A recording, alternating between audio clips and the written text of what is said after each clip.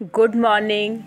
कैसे हैं आप सभी लोग? ये सुबह का टाइम है। देखिए, यहाँ हम लोग जो है नारियल पानी पीने के लिए नारियल काट रहे हैं। एक्चुअली में नारियल पानी तो मार्केट से लेके आओ तो कटा कटाया मिलता है। झट से उसमें पाइप, स्ट्रॉ लगाओ और पी लो। मगर हमारे यहाँ मेरे हस्बैंड नारियल पानी ले आए थे, कहीं बाहर गए हुए थे, ढेर सारा ला दिए थे, जो बिना कटा हुआ था और उनके पास टाइम नहीं था। मेरे देवर लोगों के पास भी टाइम नहीं था, सुबह का ही निकल जाते थे। कौन काटता? इस वजह से हम लोगों ने कहा, चलो, हम लोग ट्राई करते हैं। तो हम लोग खुद से ही नारियल काट रहे हैं और आप लोग भी देखिए कैसे हम लोग काटते हैं। थोड़ा मुश्किल है, लेकिन आसानी से कट गया।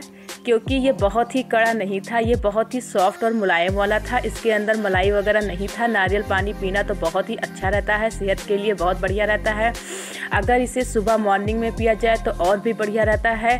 तो बस सुबह सुबह मॉर्निंग में ही हम लोग नारियल पानी काट रहे हैं, ताकि सबसे पहले सुबह मॉर्निंग में नारियल पानी पिया जाए। मेरी देवरानी और हम दोनों लोग मिल के इसको काट रहे हैं। पानी अच्छा निकल आया है। चलिए, नारियल पानी तो हम लोगों ने पी लिया। अब मैं इधर कुछ फ्रूट्स वगैरह भी काट रही हूँ खाने के लिए सुबह में, क्योंकि सुबह में ये सब ज़्यादा बढ़िया रहता है। इधर अमरूद, ये अमरूद देखिए, बहुत ही अच्छा और बहुत बड़ा सा था। इस समय तो अमरूद का सीज़न है। बड़ी आसानी से मार्केट में मिल जाता है। मेरे गार्डन में भी अमरूद लगा है, आप लोगों ने देखा ही होगा। मगर ये मार्केट वाला है, मार्केट वाला बहुत बड़ा बड़ा रहता है। अच्छा भी लगता है, मीठा भी रहता है। तो बस वही अमरूद मैं काट रही हूँ खाने के लिए। बाकी सबको तो काट के दे दी हूँ, मैं अपने खाने के लिए काट रही हूँ, जो कि मैं आप लोगों के साथ भी शेयर कर रही हूँ। इधर अमरूद और संतरा, संतरे का भी इसमें सीज़न है। तो बस वही फ्रूट्स हम लोग खा रहे हैं। इधर मैं गेहूँ धोई हुई थी, वही मैं धूप में सुखवा रही हूँ, ताकि अच्छे से गेहूँ सूख जाए।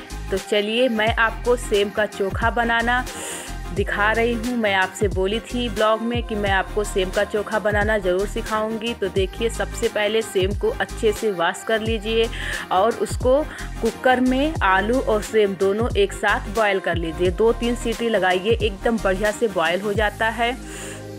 और फिर उसके लिए अदरक, लहसुन, मिर्चा डालने के लिए मैं मिक्सर में दरदरा कर ली हूँ। उसके बाद सबसे मेन होता है इस सेम की सफ़ाई करना। इसमें जो रेशे होते हैं, उसको बहुत ही कायदे से निकाला जाता है, क्योंकि अगर नहीं निकालेंगे तो चोखा हमारा बढ़िया नहीं बनेगा। इस वजह से उस रेसे को देखिए मैं कैसे निकाल रही हूँ, वो भी मैं आपको दिखा रही हूँ, ताकि आप भी देखें। इसी तरीके से सारे एक एक सेम लेके एकदम अच्छे से रेसे निकालते हैं। इस तरीके से सेम का चोखा बनाइए, बहुत ही बढ़िया लगता है। मैं पहले नहीं बनाती थी, मैं भी शादी मेरी हुई, उसके बाद मैं जानी हूँ सेम का चोखा कैसे बनाया जाता है। मुझे तो बहुत ही अच्छा लगता है तो मैं मैं सोची, क्यों ना मैं आप लोगों के साथ भी इसको शेयर करूँ। क्या पता आप में से बहुत लोगों को आता हो, कुछ लोगों को नहीं आता हो, जिसको नहीं आता है, वो मेरे इस ब्लॉग को देखे और सीखे सेम का चोखा कैसे बनाया जाता है। तो इसी तरीके से सारे सेम का जो है रेशा निकाल देते हैं, उसके बाद आलू और सेम को मैश कर लेते हैं। मैसर से या फिर आप हाथ से, चाहे जैसे जैसे आपको सही लगे, एकदम अच्छे से मैश कर लेते हैं। मैश करने के बाद उसमें अदरक, लहसुन, मिर्चा जो हम दरदरा किए हैं, वो डालेंगे। इस तरीके से मिक्स करके सब कुछ, फिर चोखा बनाइए। चोखा बहुत ही लाजवाब और टेस्टी बनता है।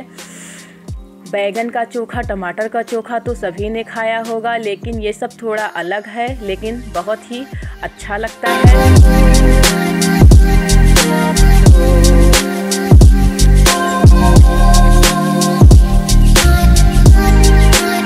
इसमें अदरक, लहसुन, मिर्चा थोड़ा सा सरसों का तेल और नमक स्वाद अनुसार डाल के एकदम अच्छे से मिक्स कर लेंगे।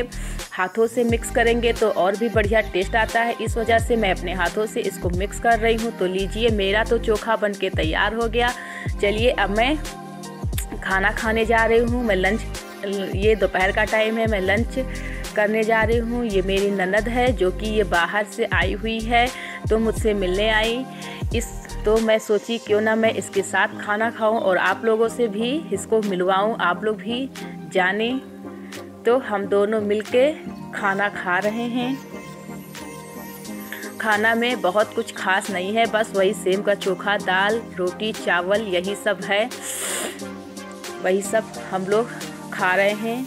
काफ़ी हेल्दी और अच्छा खाना रहता है, सेहत के लिए भी बहुत बढ़िया रहता है, इसलिए ऐसे खाना खाना ज़्यादा वेस्ट होता है।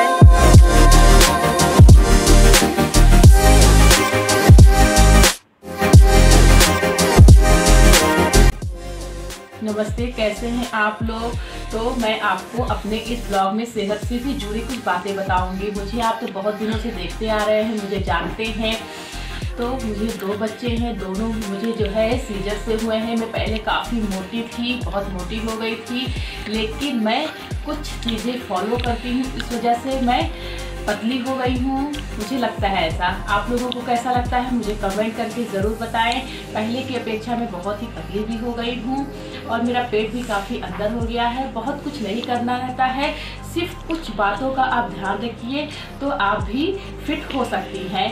मैं, सबसे पहली बात तो है, आपको एक्सरसाइज एक्सरसाइज अपने रूटीन में ज़रूर शामिल करिए। आप ज़्यादा नहीं सिर्फ़ 10 या 5 मिनट ही आधा घंटा कर रही हैं तो बहुत अच्छी बात है, इतना टाइम नहीं है तो 10 से 15 मिनट आप ज़रूर ज़रूर वर्कआउट करिए। मॉर्निंग में टाइम निकालना बहुत ही मुश्किल है, लेकिन ऐसा नहीं है, जो काम आप करना चाह लेंगी, वो काम आप ज़रूर कर लेंगी, इसलिए अपने लिए टाइम इतना निकालना बहुत ही ज़रूरी है। बाकी कुछ चीज़ें और फॉलो करिए, आप गुनगुना पानी पीजिए, खाना खाने के बाद कम से कम दस कदम ज़रूर चलें। बिना दस कदम चले आप बेड पर कभी मत जाएँ, नहीं सोएँ और आप खाना सोने से दो घंटा पहले खा लें। उसके बाद आप दस कदम ज़रूर चलें। ऐसे ही छोटी छोटी बातों का आप ध्यान रखेंगी तो आप भी फिट हो जाएँगी। मैं तो इन्हीं छोटी छोटी बातों का ध्यान रख के बहुत और सबसे मेन ज़रूरी बात यह है कि आप बाहर का ना खाएँ, बाहर का ज़्यादा से ज़्यादा अवॉइड करें। होममेड खाना आप ज़रूर खाएँ। घर पर ही बनाकर खाएँ। कभी कभार आप बाहर का खा लें, वो अलग की बात है। लेकिन कोशिश करें घर पर खाना बनाएँ और घर पर ही खाएँ। घर वाला खाना ज़्यादा बढ़िया रहता है। बस ऐसे ही छोटी छोटी बातों का आप भी फॉलो करिए। आप भी ज़रूर अगर आप लोगों को मेरी बातें अच्छी लगी हों, ज़रा भी अच्छी लगे तो प्लीज़ मेरे चैनल को लाइक करें, सब्सक्राइब करें और ज़्यादा से ज़्यादा लोगों को शेयर करें और कमेंट ज़रूर ज़रूर करें। तो ये रात के नौ बजे की टाइमिंग का है, जो कि मैं खाना खा ली हूँ। खाना खाने के बाद मैं टहल रही हूँ। वही मैं आप लोगों के साथ शेयर कर रही हूँ। मेरा डेली का रूटीन है। खाना खाने के बाद ज़रूर मैं दस कदम चलती हूँ। उसके बाद ही मैं सोने के लिए बेड पर जाती हूँ। तो कैसा लगा मेरा ब्लॉग मुझे कमेंट करके ज़रूर बताएँ। Bye bye